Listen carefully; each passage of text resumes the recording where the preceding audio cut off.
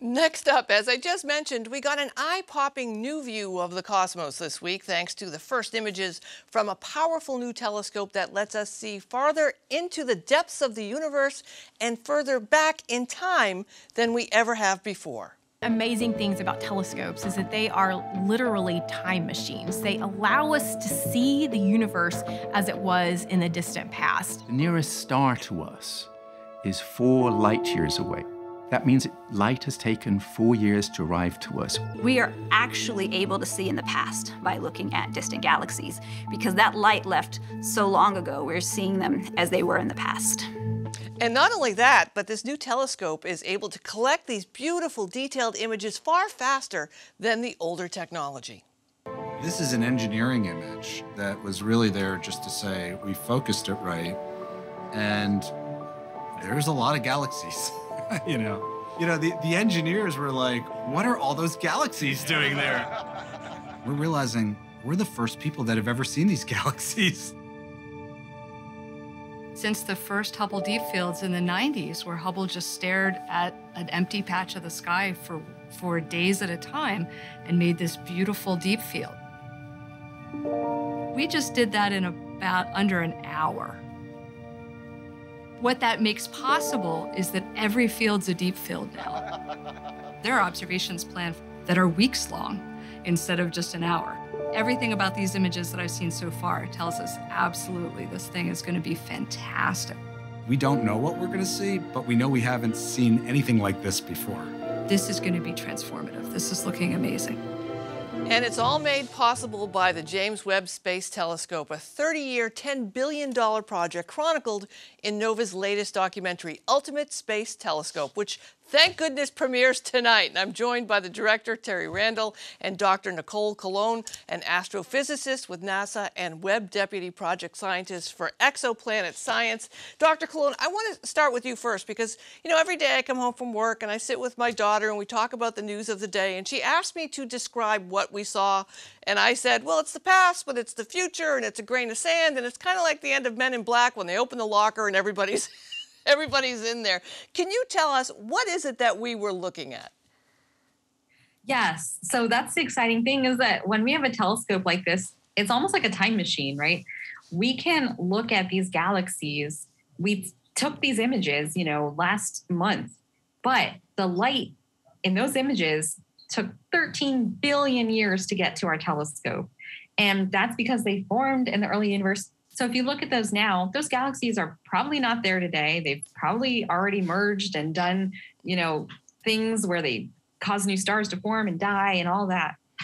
But we can capture their light because it just got to us from back when they first formed. And, and, can you explain to me how how did this just like happen? I know this has been hundreds of years in the making, but um, everyone seems so amazed that this is what we're seeing is is that all true? Like just it just happened, we did it, it worked, and now we're shocked to see how beautiful and vast um, the the the universe and everything is without us having known before? Well, whenever we develop any new telescope, including the James Webb Space Telescope, we definitely predict what we're going to see. You know, this telescope was designed to see some of the early light from the universe. But what we don't always expect is how good things will work once we're up in space. Uh, you know, a launch has to go perfectly, all the deployments have to go perfectly.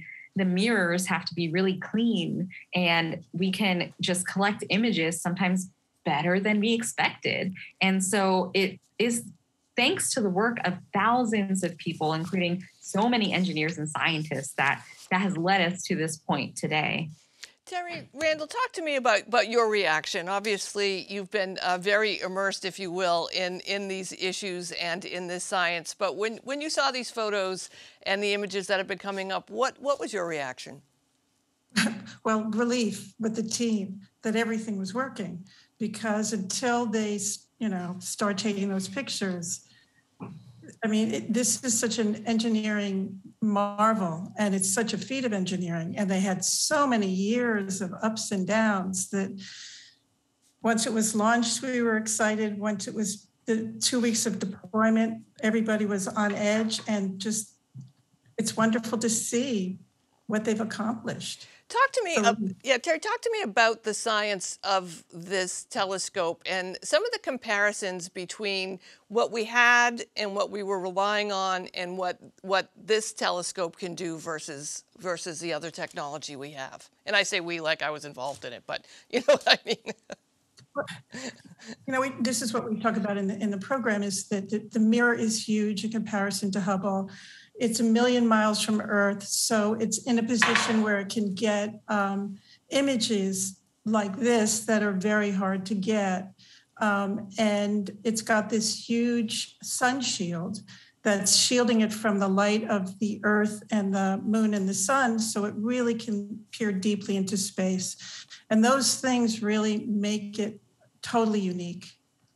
And how does this contribute? Obviously, I know that scientists um, both love to be proven right and proven wrong because it helps them to advance discovery and, dis- and science, and this helps to prove them right in many cases when compared to the Hubble, the Webb compared to the Hubble, what the Hubble saw. How does this contribute overall to our scientific community? Wow, you know what the scientists were telling me over and over again is this is the future of space science uh, in the community around the world. So if it didn't work, it would have been a disaster for that. But the fact that it is working and working better than they thought it was going to work, I think there are questions, as they tell me all the time, there are questions that they, they haven't even begun to pose about what they're going to start to learn and what questions will come up based on what they learned. But I don't think there's an area of, of space science they're not going to cover with this telescope. Knicole, I kept hearing over and over about this grain of sand that uh, folks were looking at, and, and uh, that I got lost on on that part, and also learning that there's so much more to be seen. Um, that this is again just a tiny grain of sand. Can you explain to me what what we're looking at and how much of it we're seeing? And this deep view part, can you explain that to yes, me too? Yes. Yeah. So I, I think it's another analogy I've heard is, you know, imagine holding up your your hand extended to a um, to the sky, and you put your thumbprint. That part of the sky that you cover with your fingertip, it's the size of the deep field. So imagine how many parts of the sky there are there are that many galaxies times that many parts of the sky. It's trillions of galaxies. So Webb has looked at one tiny portion of, of our universe already in just these few images and including the deep field, but even Stephan's quintet with the merging galaxies, there's a bunch of galaxies behind there photobombing, you know, that that quintet. And there's just galaxies everywhere. So yeah, almost every image is a deep field, exactly. And, and Terri, um, let's talk about the space, the world of space business and space science. You know, we are in our lifetimes living in such a different world. I mean, I vividly recall when I was, you know, six and we landed on the moon and NASA and the space race, and it was then the period where it seemed it, it the, the, the it was not going to be a priority. And there's been all of these budget discussions about where it should go and where it shouldn't. And now we've got this, you know, private industry of space um, business. I'll call it space business, which is leading in some ways um, the technology. What does this do now for the everyday person when they're thinking about what we should be funding? You know, when, when they watch NOVA, when they watch the program tonight, what do you think they're going to come away with? Well, hopefully they'll be inspired by just the sheer beauty of what we're seeing. And I think inspired by a team of researchers from around the world who came together and could work together, regardless of language or background, and could do something so difficult and make it work. So I'm, I'm inspired by this group effort. And I think this can be done in many different areas of, of uh, problems that we face. I think science is an example of that. Knicole, I was also uh, struck by watching um, NASA reach out to so many viewers across across the world uh, when these pictures were revealed, and seeing the joy and the excitement. Um, it must feel so great to be connected to people um, reacting in that way. I yeah, I can't even put it into words. You know, it's it's so it's so humbling, really, to see reactions from, you know, not just friends and family, but like you said, the entire community, the public, humans, right, as a society, that they can appreciate the beauty of the universe with Webb and these first images.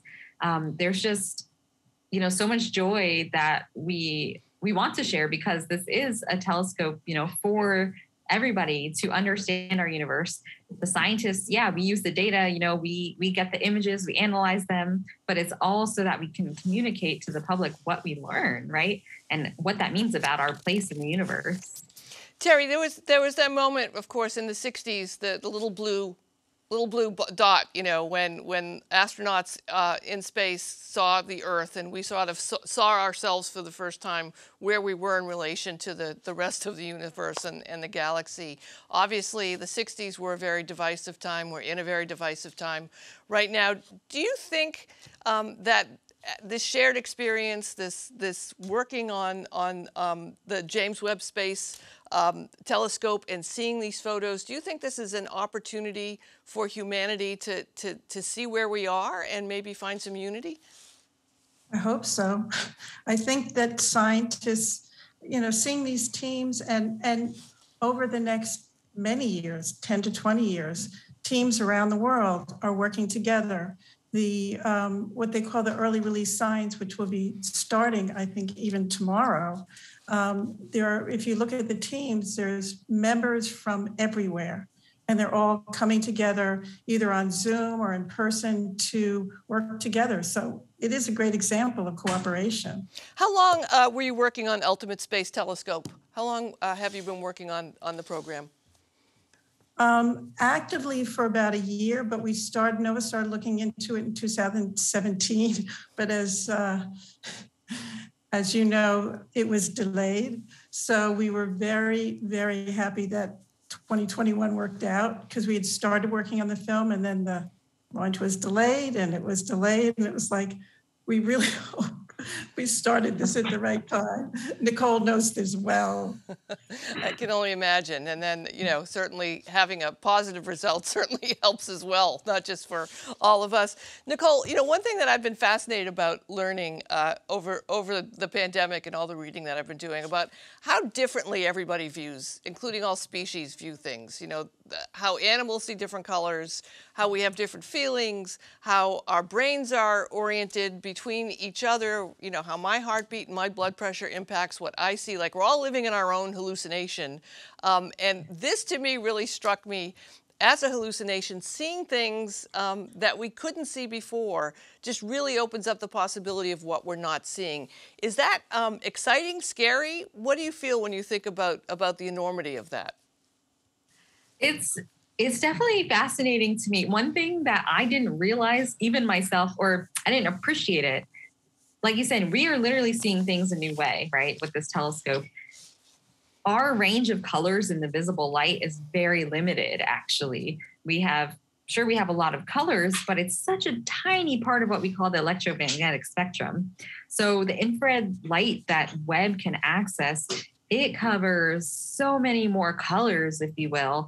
And we don't even have enough colors to relate to that. So we get to see so much more information. It's almost overwhelming, but in a good way. You know?